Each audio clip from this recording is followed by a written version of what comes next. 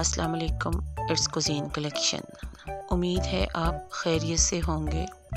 Pasta और उससे बनी हुई हर चीज़ आजकल बेहद फ़ेमस है और हम बना रहे हैं मैक एंड चीज़।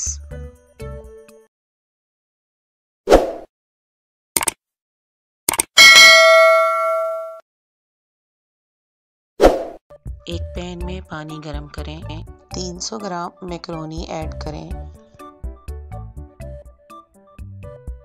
और इसे अच्छी तरह से चम्मच से मिक्स कर लें। वन टीस्पून नमक डालें। वन टीस्पून ऑयल डालें। सबको अच्छे से मिक्स कर लें।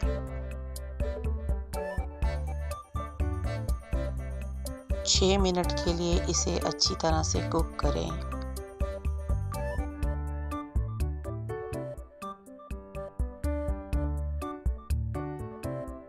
मैक्रोनी अच्छे से सॉफ्ट हो गई है।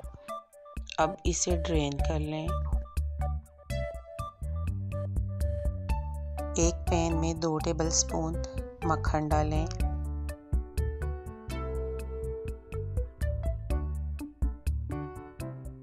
वन टीस्पून ऑयल डालें।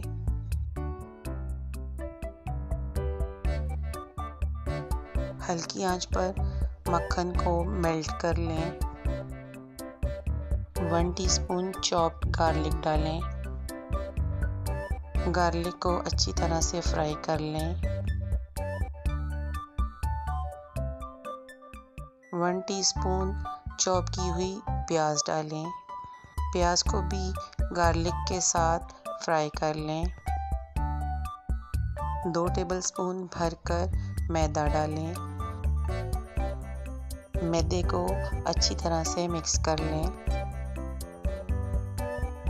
मैदे को हल्की आँच पर फ्राई करें और इसे मुसलसल हिलाते रहें।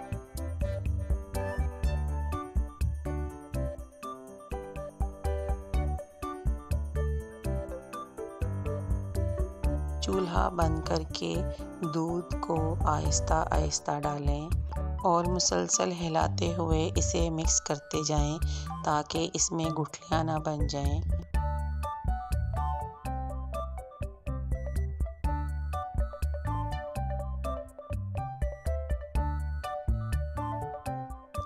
अब चूल्हा ऑन कर दें और दूध मज़ीद डालें और मिक्स करते जाएँ। मैदा अच्छे से दूध में मिक्स हो गया है हाफ़ कप नूडल्स स्टॉक डालें, यानी जिस पानी में मैंने मैक्रोनी बॉयल की थी, वो पानी थोड़ा सा मैंने बचा लिया था। एक चुटकी मिक्स हर्ब डालें। क्वार्टर टी स्पून औरिगेनो डालें। वन टीस्पून सॉल्ट डालें। वन टीस्पून चिकन पाउडर डालें। हाफ़ चिकन क्यूब क्रश करके डालें। तमाम अज्जा को अच्छे से मिक्स करें।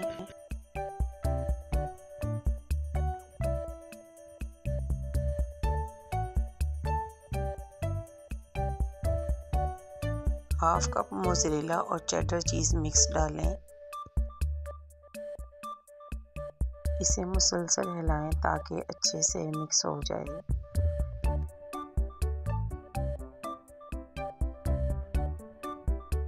चीज़ अच्छे से मिक्स हो गई है और दूध भी गाढ़ा हो गया है।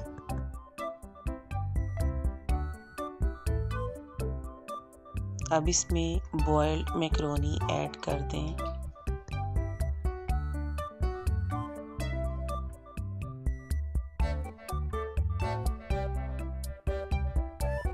आखिर में वन टीस्पून काली मिर्च ऐड करें और इसे अच्छे से मिक्स कर लें।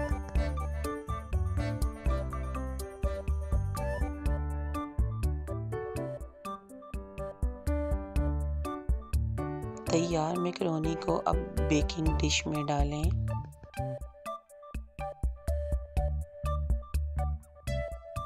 मैंने इसे दो पैन में डाला है। मिक्स मोजरेला और चेडर चीज़ को बेकिंग डिश में डाली हुई मैक्रोनी पर स्प्रिंकल कर दें।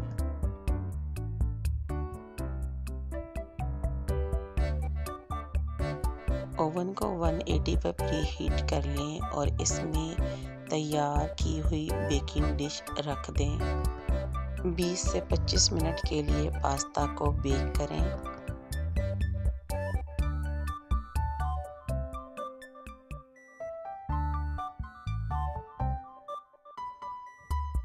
बीस से पच्चीस मिनट के बाद जब पास्ता का कलर गोल्डन ब्राउन हो जाए तो इसे निकाल लें। पास्ता निकालने के बाद इस पर ओरिगेनो और काली मिर्च स्प्रिंकल करें।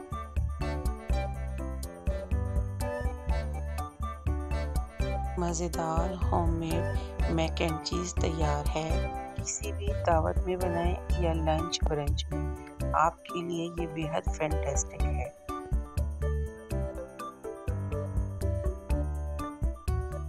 मेरी वीडियो आपको पसंद आए तो लाइक करें, शेयर करें, कमेंट करें। मेरे चैनल को सब्सक्राइब करें, बेल आइकन को ज़रूर प्रेस करें ताकि मेरी आने वाली हर नई वीडियो आपको टाइम पर मिल सके। मिलते हैं नई वीडियो के साथ। तब तक रखें अपना ख्याल। अल्लाह हाफिज़।